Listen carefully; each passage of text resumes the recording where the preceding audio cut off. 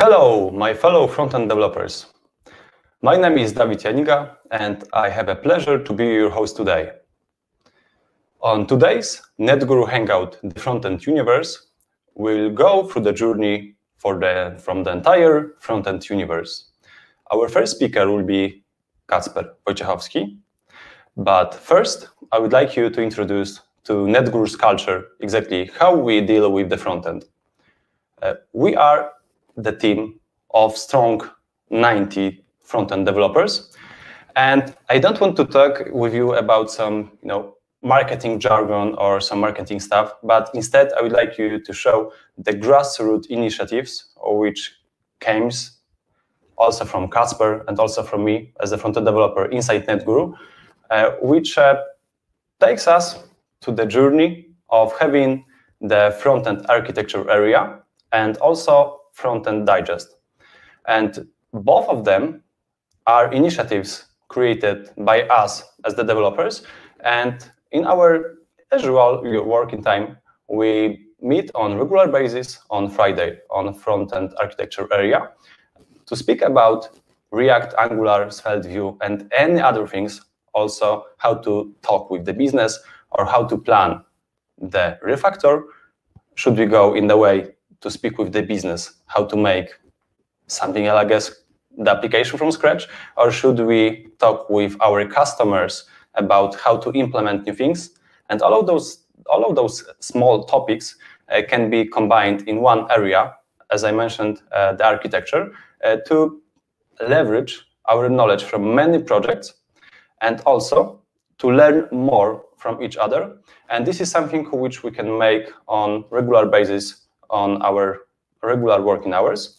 And despite of that, uh, I have a pleasure to learn a lot from Kacper because uh, months ago, I subscribed to newsletters, many of them, JavaScript Weekly, CSS Weekly, uh, Node Weekly, and so on.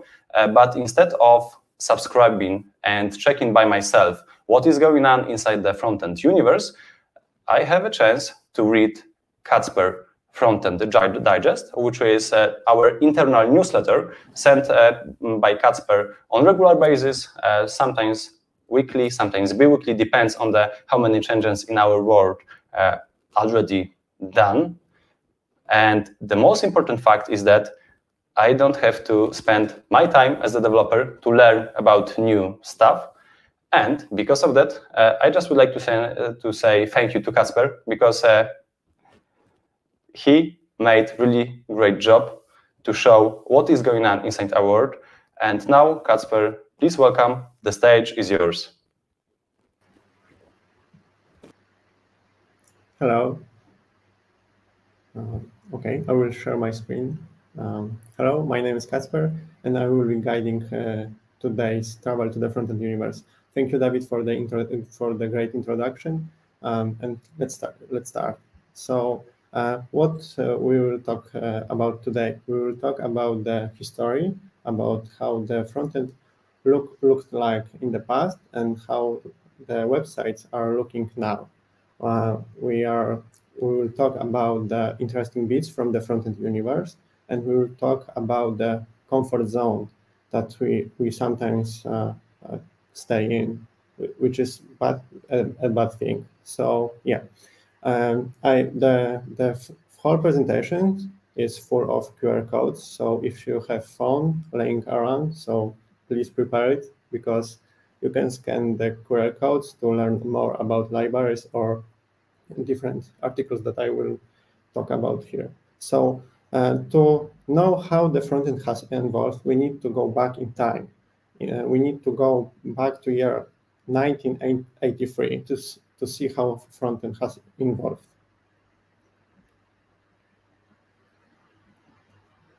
Okay, so um, this this not this is not the website that you uh,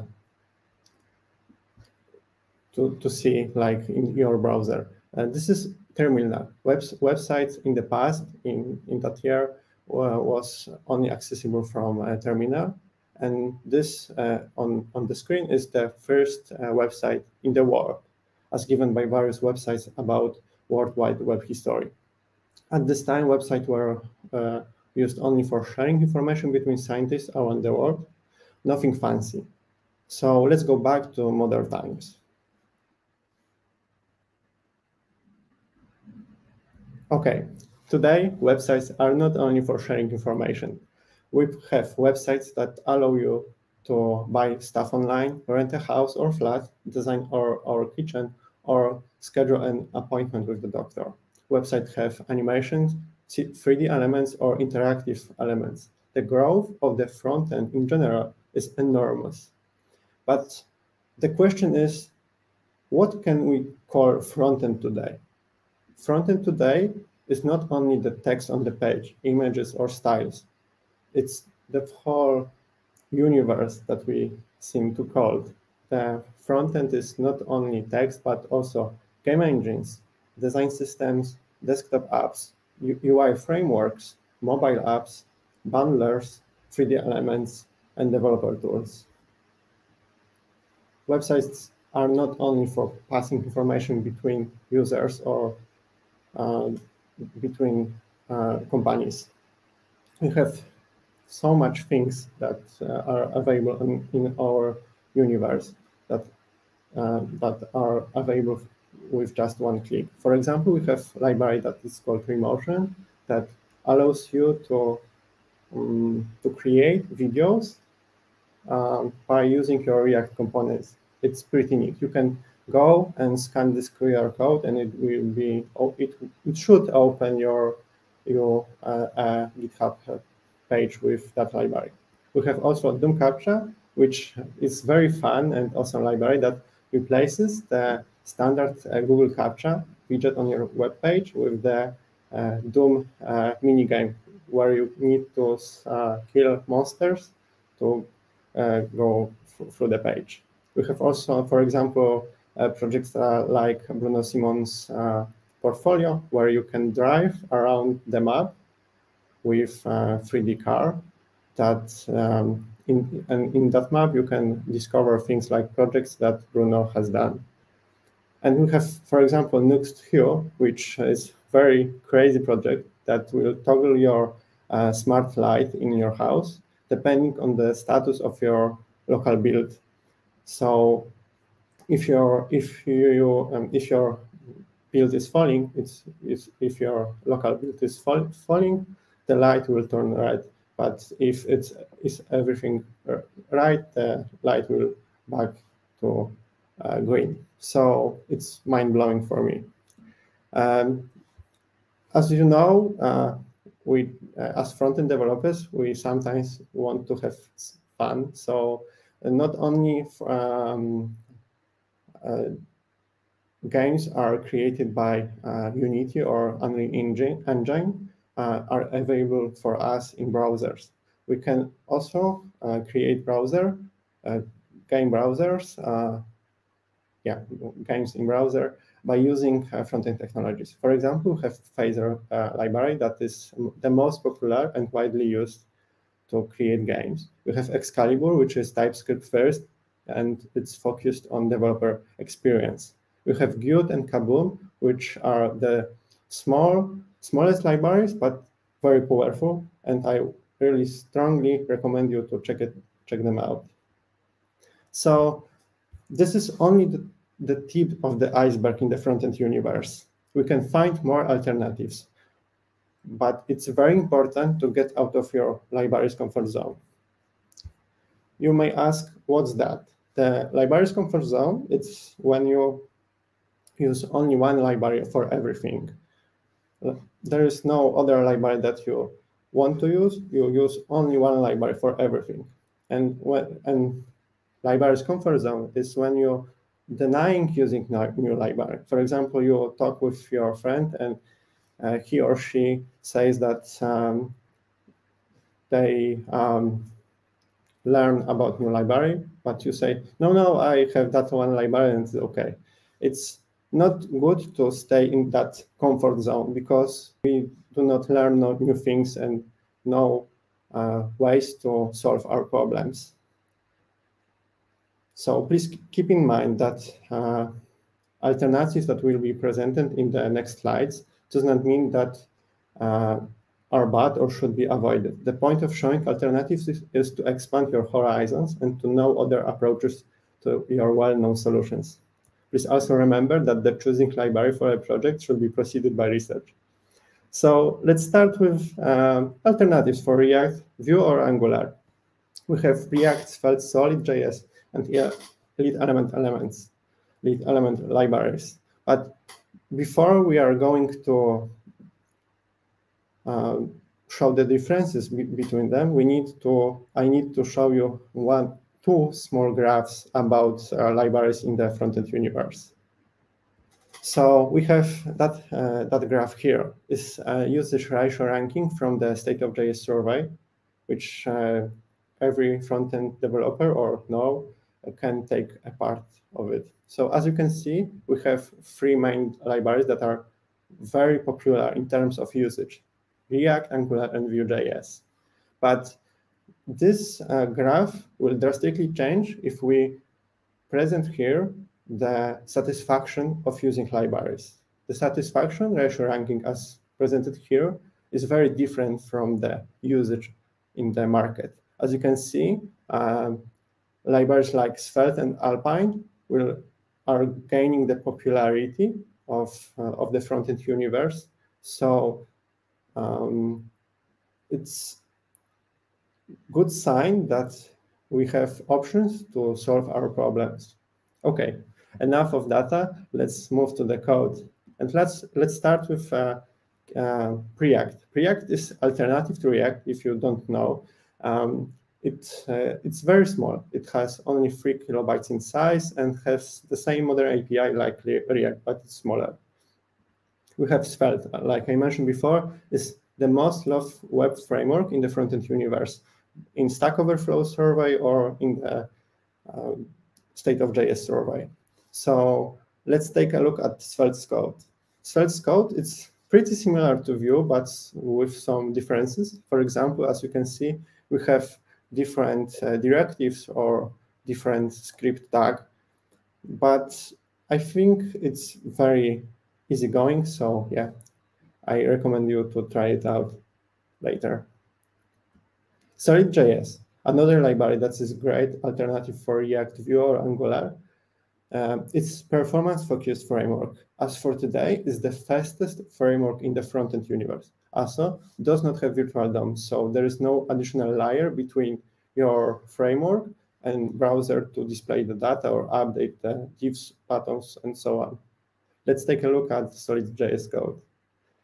As you can see, the code at, at, at first glance, there is a similarity uh, to React. But when taking a closer look, you can see that the uh, render function here runs only once there's a big advantages of that in the performance. Very interesting. We have Lit Element, last but not least on that list, um, tries to be as much as possible easy for developers to create web components. Let's take a look at the code. We have uh, classes um, and we have the decorators. It's uh, pretty complex, but I think it's pretty uh, great for, for specific uses so many things you may say, and you may be right. A bit overwhelming? I don't think so. So don't worry. I have a, another list for you. This time is the list of alternatives for Redux. Um, are you bored of using it? Next time, consider using, for example, React Query, which is very powerful library of React hooks for fetching and caching data without touching any global state. XState, very neat library for defining finite state machines and state charts. And we have, for example, Recoil, another library, this time from Facebook, like, like React, that lets you define your state by using atoms. So let's start with React Query. React Query is very uh, popular now, helps you to not bother by things like caching, fetching, and sharing global data. So let's take a look at the code. This is a standard React component which fetches data from external resource. As you can see, all logic related to fetching, caching, and deriving status of request is encapsulated in this small hook. Pretty neat, if you ask me. We have XState. It's very complex, but It's very powerful. Great library if you want to define a finite state machine for your project or a single feature. Lets you define a finite number of action and flows that may happen during user interactions. Here's a sample code from Xstate documentation. To get started with Xstate, we need to define um, a state machine where we can define initial state and flows between states. Then we can start that machine and in for, for that example, we are console logging each transition between uh, various states. To, to, move to another state or to change the state of the uh, machine, we need to send an action to that, uh, to that machine. Uh, this, uh, in this example, we are sending toggle action, which is which Uh, moves uh, our state to active state, as you can see in cons console. Then, if we send another toggle action, uh, our machine translates to inactive state. It's pretty complex, but if you get if you know it better, it's very powerful, and I really recommend it. Another great library, as I mentioned before, is Recoil. Recoil is created by developers from Facebook. It lets you define your state by using atoms. There's nothing like one state to rule all components. So to get started with Recoil, it's very, very easy. This code is from Recoil's documentation. So the first thing that you want to do is to define your state by using atom. Atom, uh, value of atom can be whenever you like, a string, number, object, or array. We need also assign a key for recognizing that atom. Then we can use various hooks to modify or select data from your atom. For me, it's very, very interesting. I didn't have enough space to put all alternatives for Redux, but here's a quick list of alternatives, smaller alternatives that were, that's worth to mention. For example, we have Jotai, which is scalable, scalable library, which allows you to use atoms when defining your state, like recoil from previous slide. We have Zustand, which store, uh, which is small, fast, and scalable state management library, which uses simplified flux principles. We have React Sweet State, which is very similar to Redux Toolkit Slice, but smaller. And yeah, and we have Valtio, which takes your JavaScript proxy and puts it at, as a state. And of course, this is only the tip of the iceberg. So there's a lot more libraries that need to be discovered. So are you feeling overwhelmed? Don't be. I have another list for uh, alternatives for style components, uh, and let's discuss them. We have emotion, Linaria, vanilla extract, and for example, stitches as an alternative for style components. Let's start with emotion. Emotion has similar API, and the core of the emotion is framework agnostic. As you can see, here's a sample code um, for emotion. And emotion lets you define uh, styles that will be assigned to a class name during uh, runtime, and that class name can be used anywhere um, you want.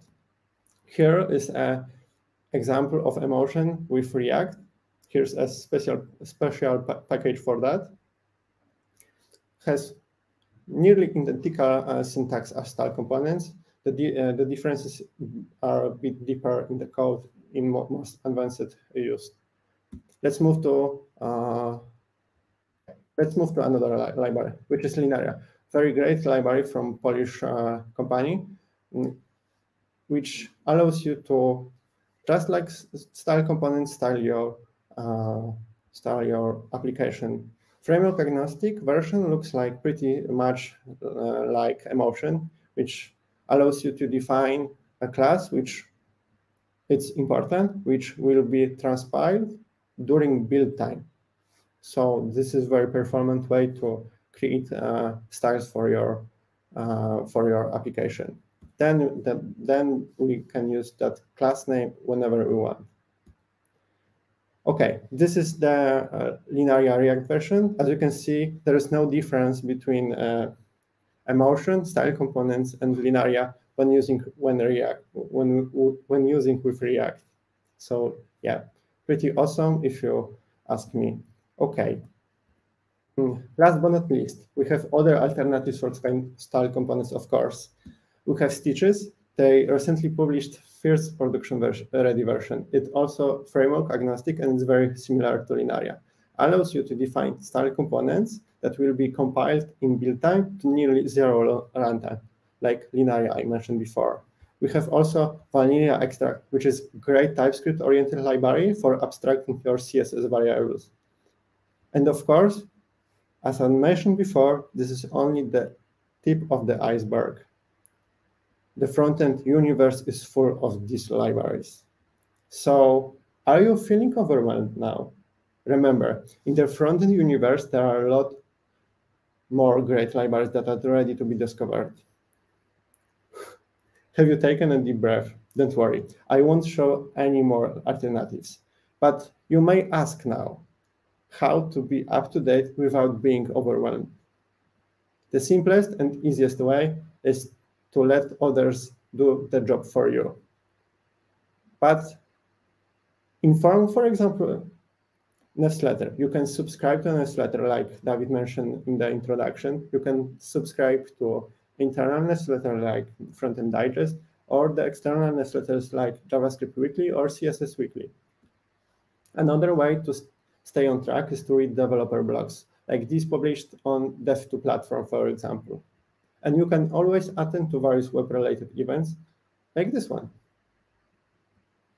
When learning about new library architecture process, write it down in post of form, uh, in, in, form, in, sorry, in form of post or Slack message is, is the easiest way to learn and share your knowledge with others. Maybe start your own newsletter like Frontend Digest. But if you just not feel up to it, there are great people out there sharing their own, own knowledge and opinions that are a great place for it. And the great place for it is Twitter. In no particular order, I recommend following, for example, Dan Abramov, which is the creator of the Overreacted blog, and of course, React and React Redux contributor.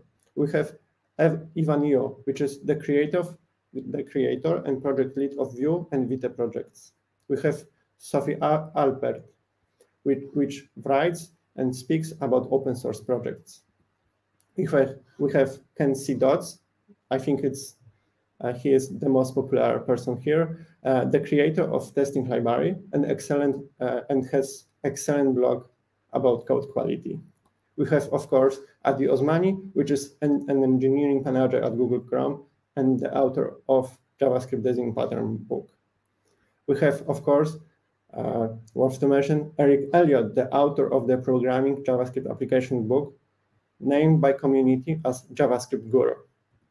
But these are people that are recognized, but you may find people in your company that have strong uh, experience like David to ask uh, things regarding uh, architecture or libraries or in general experience in IT and front-end world. So it's good to uh, ask and share your knowledge with others.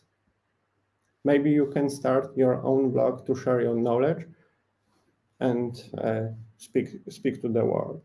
But the most important thing in the whole presentation is in case you have missed a release of a popular library or you don't feel that following everything mentioned today is for you, keep calm and don't worry. Eventually, you will find that information or will, you will hear about it from someone. Okay, learning, uh, we, we have learned today about so much libraries. So you may ask, what are the benefits of staying uh, up to date and knowing these libraries? So being up to date is very valuable. It opens your eyes for new solutions and approaches.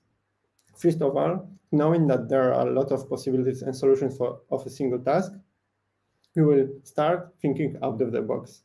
Your code base and project will improve.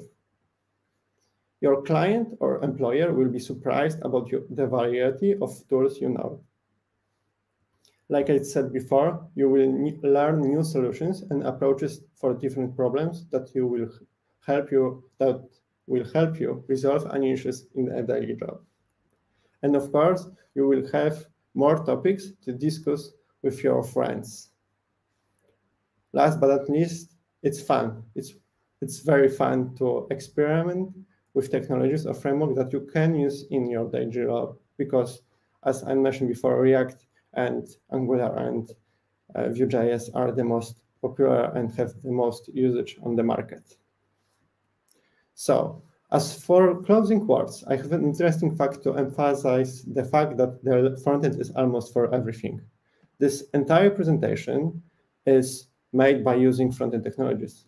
I've used a library called Slidev for that to show you that this is uh, code from uh, this is uh, uh this, these slides are uh, coded in code. As you can see, this is code that uh, is this slide is uh, coded like that. You can um, mix Markdown, you can use uh, Vue components, and so on, and you can export this whole presentation to PDF format or host it on your service.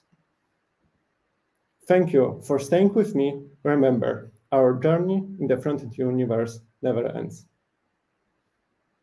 David, I think the stage is yours. Thank you.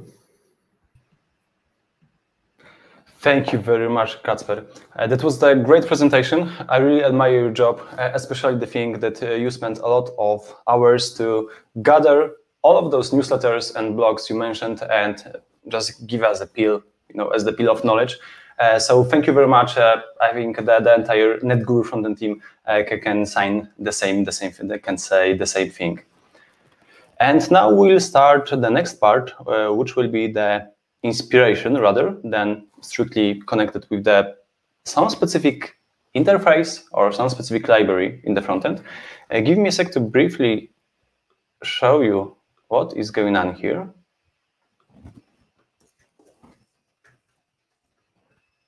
I have a plenty of plenty of devices here and would like to show you the entire universe of interfaces. And now you should see my screen.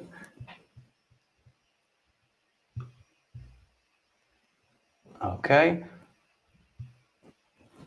I'm also reading the comments so you can interact or asking the questions, which will be later. Uh, answered. But meanwhile, if you would like to dig more about some topics, uh, feel free. Uh, there are a few of us uh, from Netguru to combine our experience to make the best possible experience. And I will start with a simple question. Uh, can you see my hand in the right side of the window? I need to start to have some confirmation so, so we are sure that all the devices are visible and you can see everything I would like to share based on the front-end universe. You can uh, okay. It's widać it's yes. Great. Okay so it, so the introduction is this is my dj console. This is something i made after hours as the you know hobbyist dj uh, this is exactly a native native instrument Traktor s8 and i usually use that as the sound device. Like you know to play uh, four channels of music and to play some sets or you know mixing mixing some some uh, some fan, some fan, fancy songs. But despite of you know having the DJ control, we can we can use that as the device connected via USB. And the interesting part is that you can control input and output of this device in your browser. And first, I would like to show you uh, the exact solution for the problem of having the dark room as I have right now. So please bear with me and look closely. Here, there are three faders, C, A, and B. And you can see there is something in my background.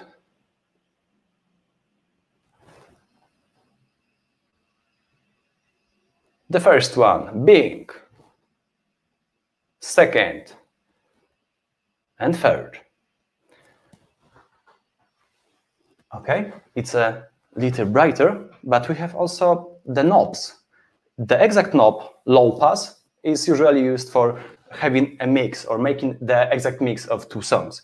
But now we can control the exact knob in JavaScript and tell, for example, that we want to change the hue. And I would like to change the hue for all light bulbs. So as you can see, my background changed to the reddish one. And the great thing about those knobs is that every button you can see on this device can be controlled via JavaScript in your browser without additional plugins or additional, I don't know, even you know drivers or some kind of stuff. It's uh, currently supported not by unfortunately all browsers, but uh, it's good enough to use that at least as the fancy project or maybe something which might be used uh, by your customer if this is the you know business case but the most important part is that the thing you saw on the camera is based on the MIDI instruments.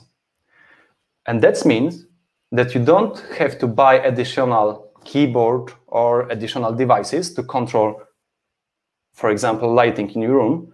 You can use, uh, for example, Native Instruments Maschine, like this one, or any keyboard connected with your computer via USB cable. And that means that every device which is supported via MIDI, which means musical instruments digital interface in long, can be supported also in JavaScript. And what about the name of this interface?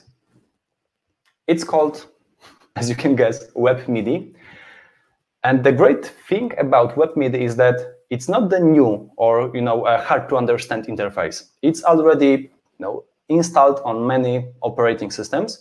But the important part is that you can access MIDI devices directly from your browser. And based on that, we can, for example, gather the input from this slider as just regular JavaScript event, like key down or mouse up and so on. And based on that, you can also build something which output, for example, the sound from the browser.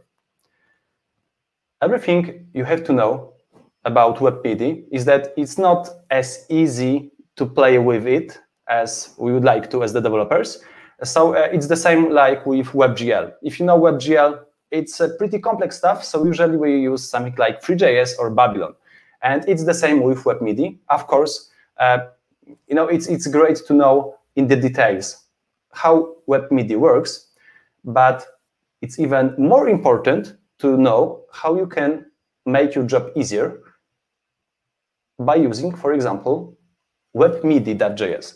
It's the wrapper library built on top of WebMIDI, like the same as the Three.js on WebGL. And the most hard or the, the, hardest parts are implemented inside the library. So for example, if you would like to just use your keyboard because you have the one, for example, or you, you know your, your brother or sister have one uh, in the next room, you can play with the same device uh, connected with the USB. And this is the line responsible for accessing this device in the browser. There are a few gotchas. The first one is about secure connection. Uh, the website has to be hosted via HTTPS or can be hosted on localhost. And the second thing about connecting with uh, any device like MIDI is the security concerns. And because of that, a few topics on Mozilla Firefox and Safari uh, were rejected, you know, as the support. Uh, so I don't want to lie with you that the support is great. It's not bad, I can say, since uh, the relative usage, as you can see, it's around three out of four users in the web can use WebMIDI. But of course, if you use that as the current aligned, you can see many red columns. So you have to choose carefully, especially as the designer of the app or you know uh, especially as the architect, that the business case might be based only on Chrome, since, as you can see, the Chrome also on mobile can use the web MIDI. You can play with your phone to have additional sequencer or sampler to play in the music. Uh, so it's not, I can say, production ready to any application, uh, but at least you can use that for creating some fancy controlled apps from the perspective of the device. But the most important is that it's only the device. So it means that from perspective of the application, it's just the same application you would you want to build in, for example, in React.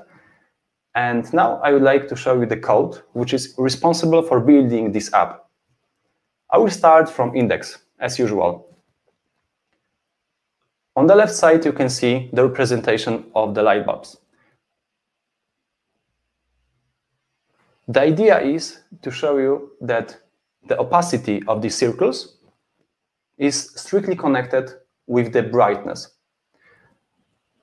And now we can ask ourselves how we can build something which makes this light in my background and also change something in the browser in the real time, especially from you know output device like this one, like Traktor S8. And I have to admit that it's not hard. It's not hard at all, since if you look closely to the event sent to the browser from S8, you can see, and please confirm that uh, the, my console is big enough so you can read the events in the console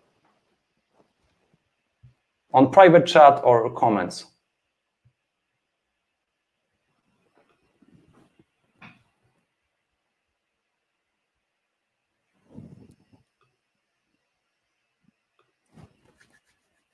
Can't wait, can't wait for an answer. Should I make it bigger? Okay, thank you, Maciek. So the main idea here about showing you the exact message sent from device to the browser is that if you look closely, we have array here, array of three elements. The first one and the second one is kind of ID.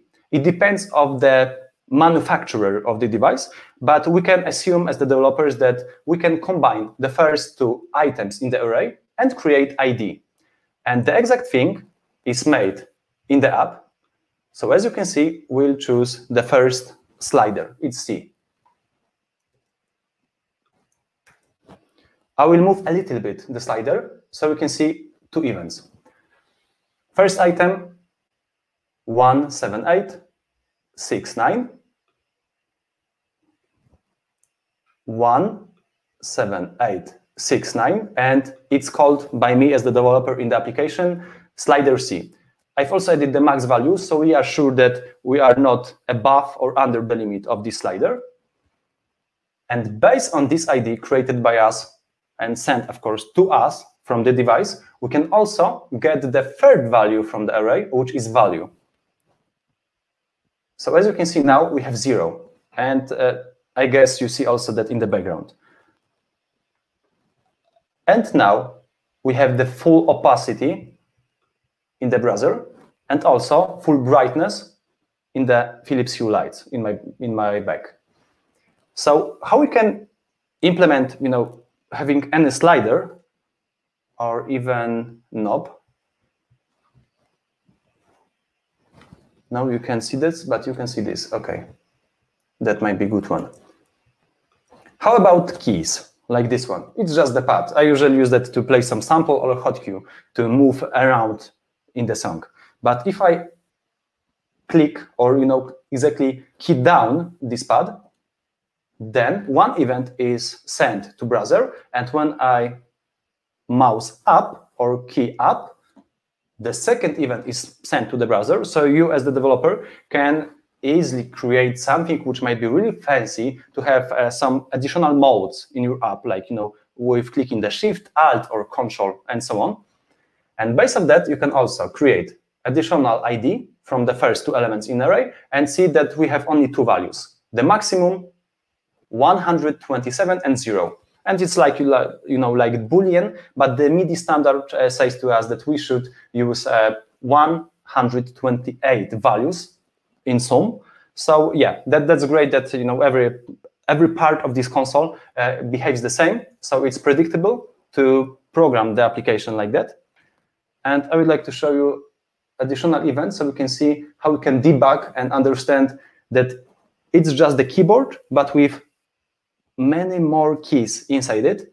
But the events in JavaScript are the same, and it's you know, your imagination or your responsibility as the developer to see the connections between, okay, if I click something in my keyboard, this is the same event as here. And what I can do with that? I can, for example, use some patterns like publish subscribe to inform my application about the change which was made. But of, of course, I don't want to know, know only the number. So the number here is used to connect the slider or the knob with something meaningful, like slider A, slider C, something you know from the exactly something you know uh, from the um, interface, the, the, physical one of the device. So I've also, as you can see on the uh, middle of the screen, uh, mid C means that this is mid pass of the C slider. C is here and here. The same is for low pass. It's the exact line, and this and the last one is slider. And I use that pattern only to show you that it don't have to be something prepared by the manufacturer, but uh, it can be described by us as the you know as the, as the developer uh, to easily create some flow or to handle the event and how the event is handled at least. So first of all, this is our regular index page. This is created on the next. Via use effect, we attach our webMIDI enable from webmidi.js. And if there is an error, we would like to know about that. If there is any connected or disconnected device, I will refresh the page so we can see about what it was. We also would like to know about that. So as you can see, MIDI device connected, connected, connected, uh, two inputs and two outputs, stereo channels, so two of them. And with that, we can also attach listeners.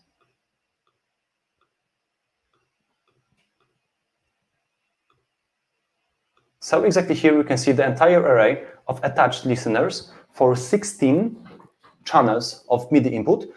I don't want to dig into details of you know sound construction in general, but uh, the signal sent exactly from this device can be divided for every node in music theory, and this is the exact implementation in JavaScript.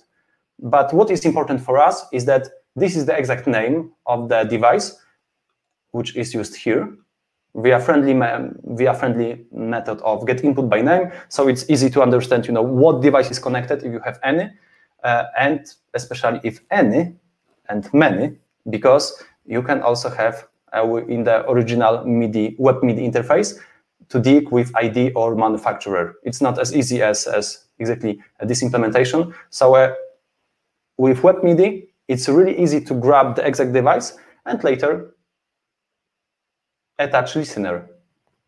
And the exact listener you saw in the, mm, in the console is this line, that every event which is sent to us as the control change is logged or mapped to controller. And the important part here is that this device sent to us control change, but that may be the device which send which sends the exact note, like the keyboard. So you see that note on or note off or pitch bend. So there are uh, there are events from music uh, theory in general, and it depends. You have to dig how to implement the exact solution you would like to code uh, for the specific device. For me, control change works great, and here is the mapping. That means that from controller map, which is here, I would like to grab the exact controller via this simple mapping. And then if the controller is found, I would like to emit. The event bus is the exact implementation of publish subscribe.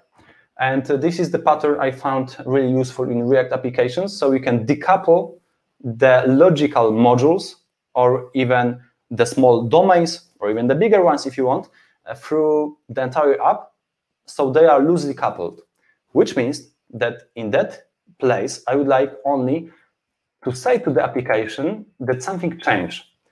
Of course, I'm using controller name changed, or I can also use the throttle emit. Throttle emit is useful if you want to play with light bulbs, since not every manufacturer use the real-time update of this device, so sometimes you have to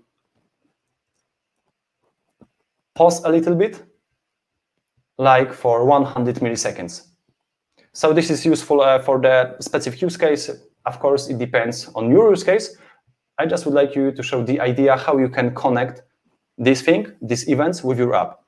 And from now on, this sounds pretty simple since here you're emitting the events. And the question is, okay, so where are the handlers? And the handlers are here. This is the exact implementation of publish subscribe uh, made by me through the last, I guess, one and a half year. Uh, and the main takeaway from here is that you can use directly the imperatively the code to change the light bulb in the background. And here we would like to react or to handle the event of mid C, which is exactly this button. And the exact button of mid C is handled like this. We want to get lights from our dependency container, and later we would like to change hue on the first slide to the value sent to us from this specific knob. What about slider? Slider, exactly that one, is handled in the same way. And you immediately see the result. And the entire implementation of changing the brightness of this light bulb, in the background consists of emitting the correct event and handling that in a way that it's decoupled from lights. And lights is our dependency, and I don't care which company made the lights.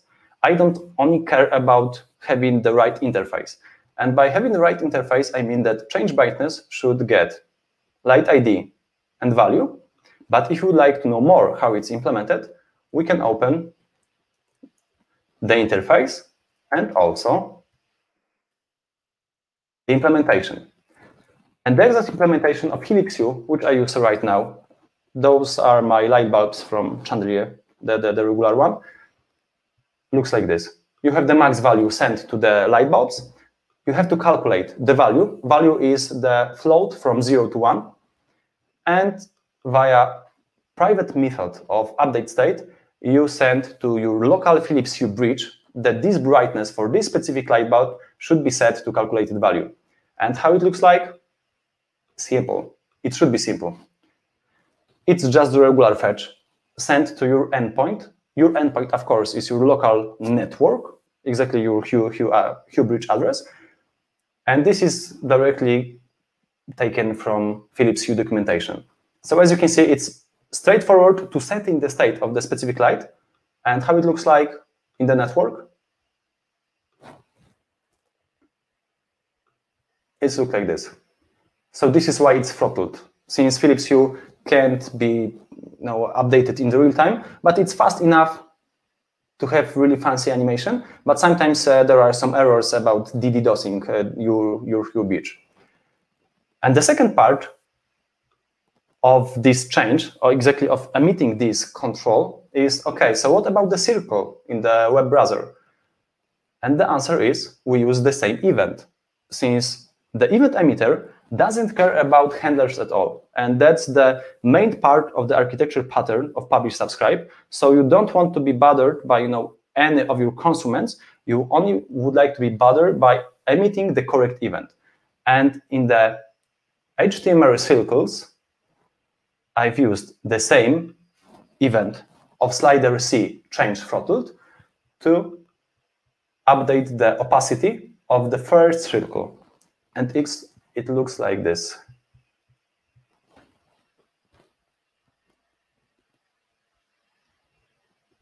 And this is the exact thing I would like to show you as the decoupling the event from the handler and having the only one axis of changes in your app, which means that the axis of change of this feature of having the circles can be easily exchanged to something like 3D. And the only thing I have to change here is to add a new file, HTML circles, for example, to 3D circles or 3D boxes and so on. But the rest will stay the same because we later still handle the same event, but with different implementation. And anything with device or light bulbs have to be changed since the axis of change is separated from each logical domain. And based on that, we can make really fancy results with connected many interfaces like sounds, 3D, or even additional APIs or something which would be which, which can be downloaded in real time uh, based on those events. And the last part of handling those events is that there is the pattern, the publish subscribe, which uh, connected, which connects, uh, sorry, connects uh, those domains and modules. And the first thing we have to prepare as the developer is the events as the our we can say dictionary for the entire app. So we are sure that the correct events are handled.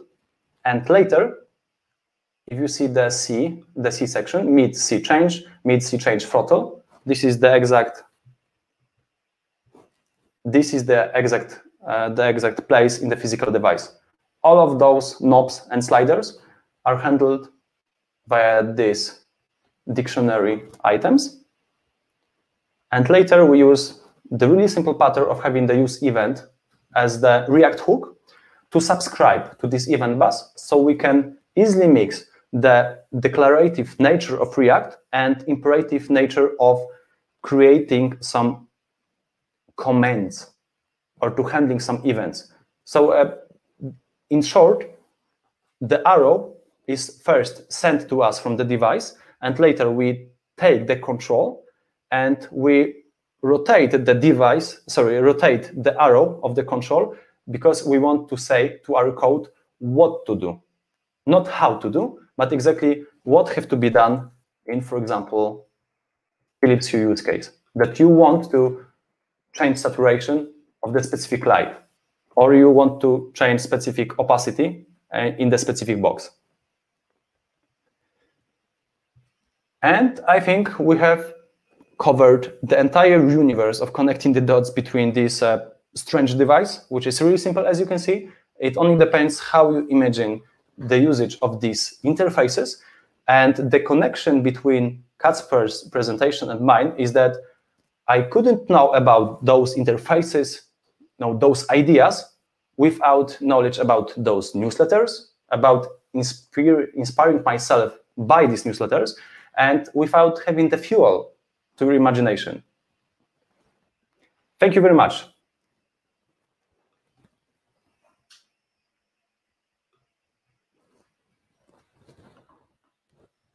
I will bright a bit the background and make it a bit cozier. Okay.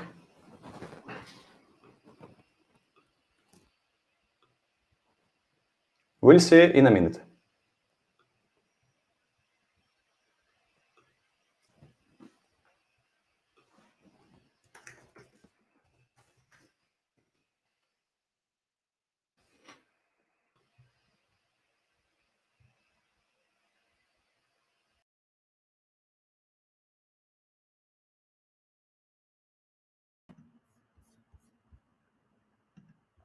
Hello. So do you have any questions regarding my presentation, Frontend Universe?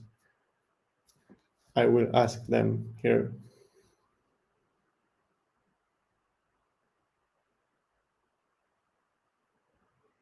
Okay, Sergiusz, uh, uh, the, the, this the, this uh, Sergiusz uh, question is: What are the main factors which says if the framework library is, is mature in your opinion?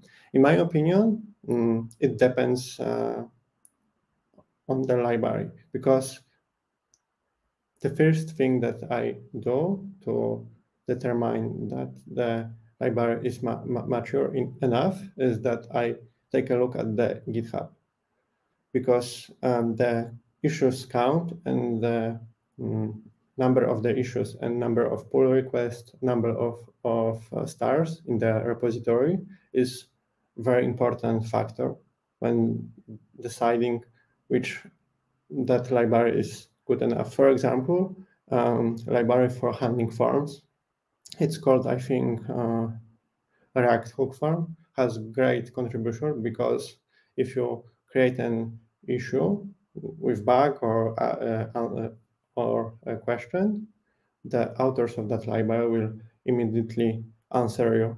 I think it's last time I created an issue and, and got uh, an answer in I think in two hours. So it's a very good result.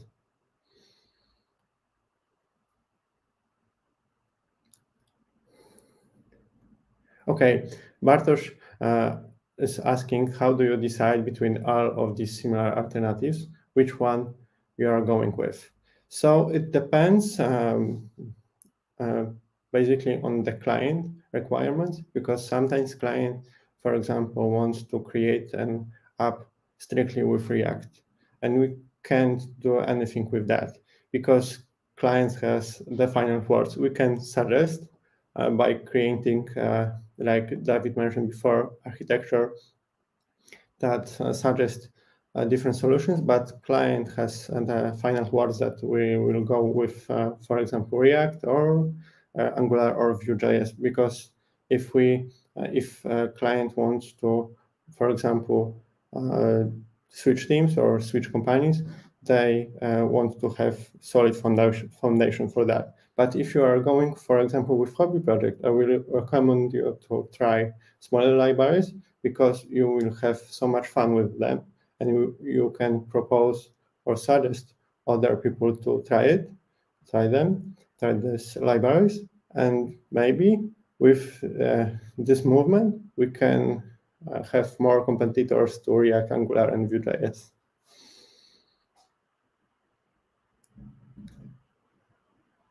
Do you have any questions uh, regarding front-end universe?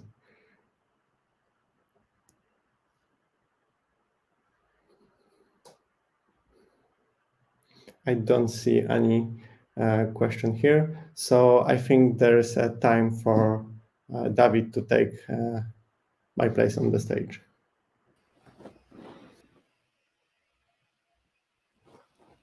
Yep, and this is the time for questions to me. About anything to be to to be honest. Of course, I would be more than happy to to ask uh, uh, to answer any questions we've connected with this device or even you know with uh, some other web interfaces, which I'm also interested in.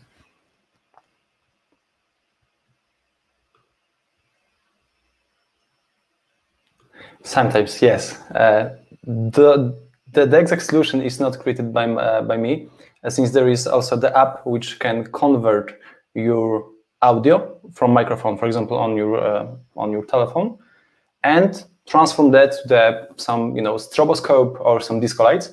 Uh, but if I would like to you know get some more hands-on experience, yep, I sometimes I'm uh, I use uh, the exact light bulbs uh, to, for example, having the really nice uh, mix of two songs with the exact color but it's not you know something something uh, production ready. It's rather to, to have to have some fun with uh, JavaScript.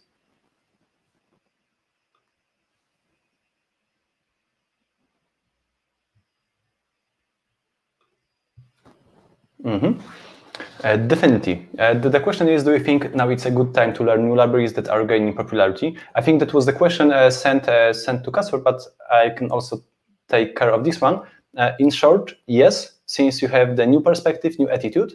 Uh, sometimes maybe it's not, as Kacper mentioned, ready to the current project we are working on because of the foundations or you know some rules um, set in set in stone by this company. But definitely, uh, by the perspective, I mean that it's good to know that you can make the same or you can resolve the same business case by different method by different functions. So uh, I would rather treat that as the toolbox and definitely, definitely the state of JS might be the good starting point to know which might be good solution or good library to for your next fancy project. Especially Svelte, it's it's the one of them since it's gained popularity and the satisfaction uh, satisfaction ratio is really high.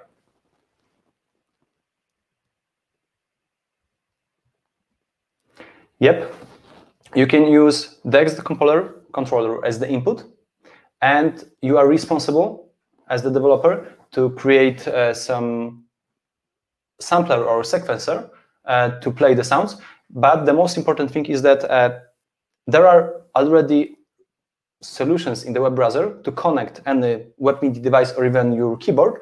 And uh, the only the only thing you have to prepare is the mapping between your controller and the exact application.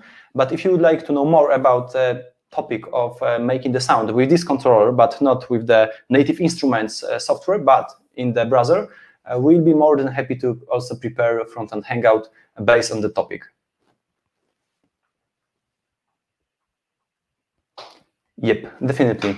Uh, the one exact uh, which helped us in the previous project was also connected with publish subscribe, but in a way that we use mediator pattern to prepare something like if the one button changes, then we want to also inform other components about this change. So we have something like the tower or exactly the um, I don't recall the name. This is the aircraft, uh, the aircraft tower to exactly mediate between aircrafts under the airport, sorry, uh, above the airport, and you can use the same uh, the same design pattern also in React. And based on that, later you might you might also use publish subscribe, or even more important nowadays, uh, the probably something like the repository pattern or API if you if you would like to say about uh, the connection between services.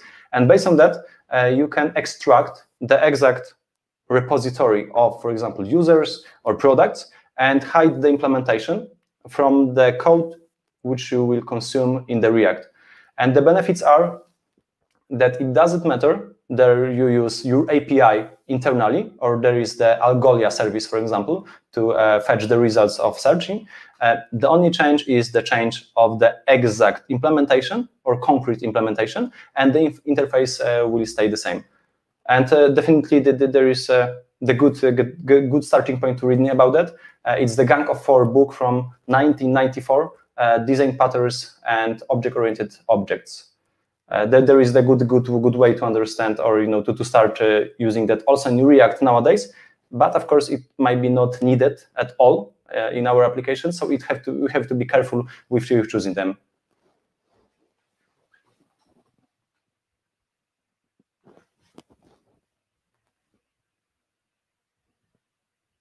Mm -hmm.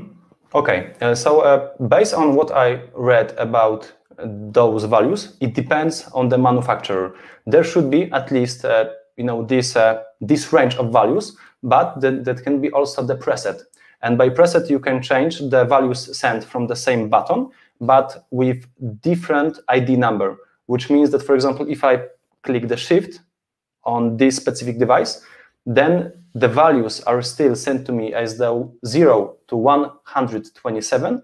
But if I click the shift, then the first ID will increment. So in that way, you can have the at least two or three ranges of values sent from the same button. And it depends, of course, on the manufacturer, uh, which uh, you know which, which, should be implemented in a way of having this, this specific range. But uh, additional keys like shift, uh, pitch bend should be should be uh, also set in the documentation.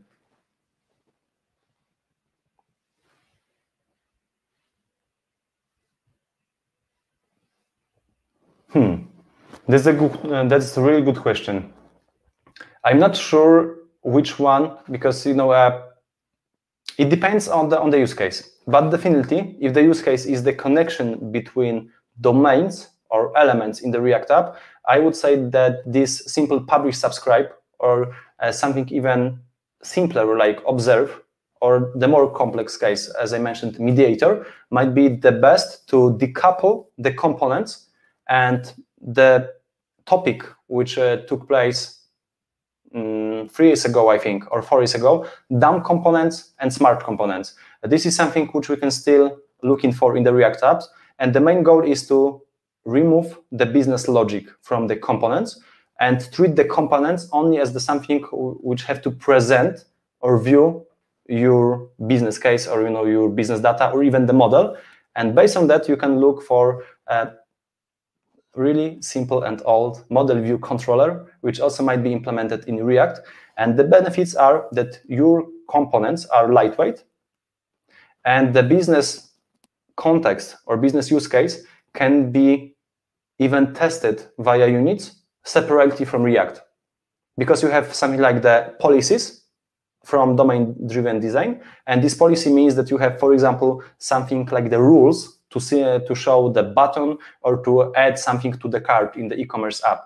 And based on that, you send the same information to the code, but you additionally send also the intention to other developers that the policy means that that will be the condition. And based on that condition, something will change or not, and that the component won't make a decision about what have to be done because this is not the responsibility of the component. Component should only inform us via props or even bus or you know this kind of publish subscribe implementations that something changed or something happened, but not decide about what have to be done because the first thing which we will encounter to reuse the business logic from the specific component might be the nail in the coffin to you know, have this component extracted or even copied to the new one with slightly changed name because you can't reuse the exact the, the exact same business logic from the component.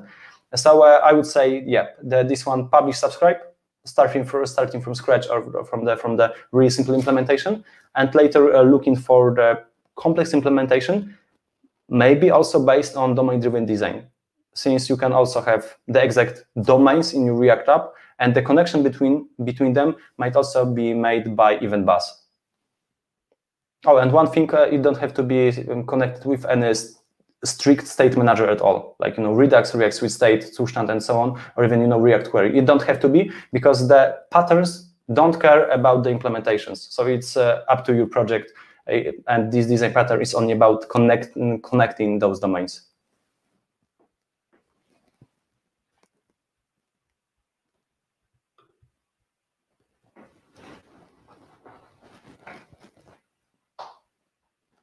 Okay, it looks like that all questions are answered.